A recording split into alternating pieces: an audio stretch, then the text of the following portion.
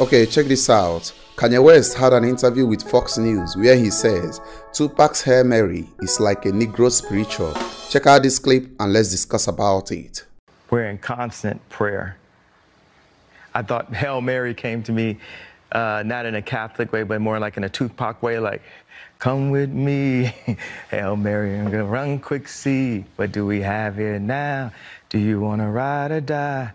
Na, na, na, na, na, na. Have you ever heard that? Yeah. It's like a Negro spiritual. It's a chant. It is, you know, it, it puts you in that mode. I got a song that I made. It was like a mix, it was a hybrid of that and Led Zeppelin. And it went, it goes, it's like my best song. La, la, la, la, wait till I get my money right. La, la, la, la, then you can't tell me nothing, right?